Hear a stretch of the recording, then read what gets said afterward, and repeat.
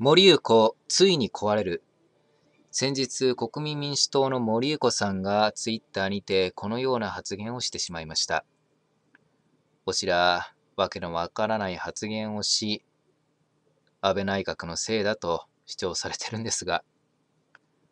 森さんは国民を国会で犯罪者呼ばわりし、さらに個人情報も勝手に公開して、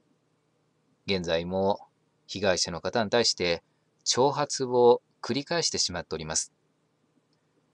こういった国会議員の特権を悪用した、乱用した国民に対する攻撃を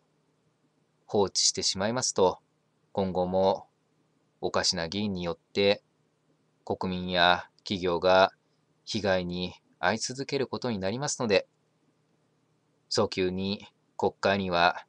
森裕子さんを除名していただくようにお願いいたします。